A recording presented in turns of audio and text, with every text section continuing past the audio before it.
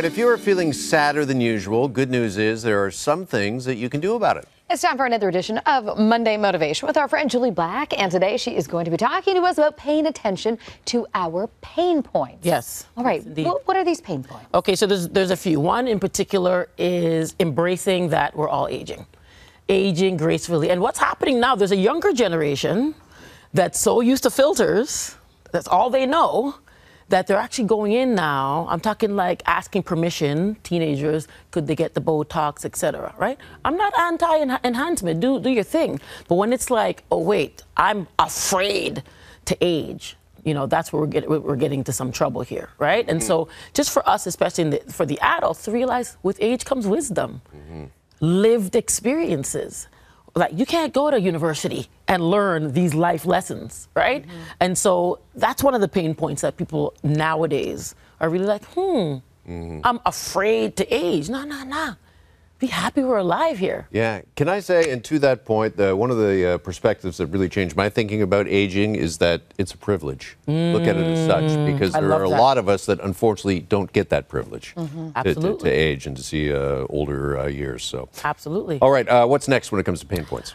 The power of self-acceptance. Now, there's a there's a big self-love movement. It's been going on for a while. Body confidence, body positivity, self-love, self-help books. But you cannot love yourself until you accept yourself. Mm-hmm. Accept where you are, who you are, why you are, right? And that whole journey of being like, this is this is me, all of me and I'm, I'm excited to actually grow and evolve. There's a quote that uh, Rick Warren, he's um, a, a, preacher out of California, but he said, When you change the way you see things, the things you see change. I'll give you that one more time. Mm-hmm. When you change the way you see things, the things you see change. When you change the way you look, you look in the mirror and you're seeing, t- change, hey, you know, these legs, these hips, they're carrying me. These feet, you know, these arms, shoulder, whatever, this stomach, it's like, this is, I'm changing the way I see it mm-hmm. so that the things you see will actually change. Mm-hmm. It's a mm-hmm. thing. Okay. Yeah. Um, let's talk about vulnerability mm. and how to see that. Yes, yes, yes. So when we can be vulnerable, I often say volunteer to be vulnerable. That's courage right there.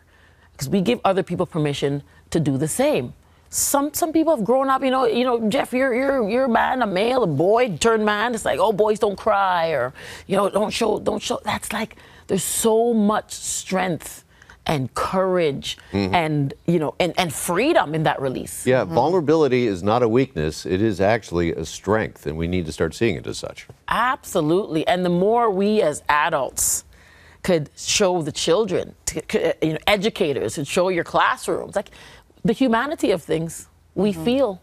We yeah. go through life, and the operative word is through. So volunteer to be vulnerable. It really does foster genuine connections. Mm-hmm. All right, love yeah. that. Okay, mm-hmm. uh, your final pain point. Talk to us about forgiveness. Mm, forgiveness is the gateway to freedom. This that's my own thing. That's not even like a, a AI chat thing. This is the Jully Black chat. Okay. It is the gateway to freedom. Understanding that forgiveness isn't just for the other person because someone else did something to you. Forgiveness is for us.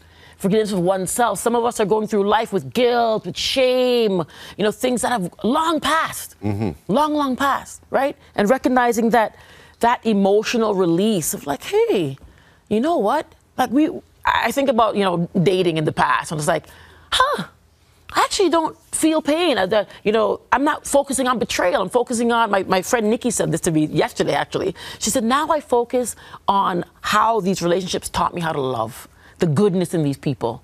And it's not just about romantic, friendships, family, colleagues. It could be an old job. Why are we carrying all of that into the rest of our lives? Mm-hmm. Just unlock that gateway to freedom. And you know, Jully, that's really interesting because I don't think you can truly find forgiveness until you get to the root cause, as you were just talking about here. Because I think sometimes we, if it's particularly if it's painful, we want to ignore it or push it to the side. But if mm. you truly deal with it, then you can find that forgiveness and that's move it. on. That's it. I want to encourage Canada and the rest of the world. Hey, there may be someone you might want to just drop a text. How you doing? Mm-hmm. You know, I've been thinking about you. Hey, could we talk? Mm-hmm.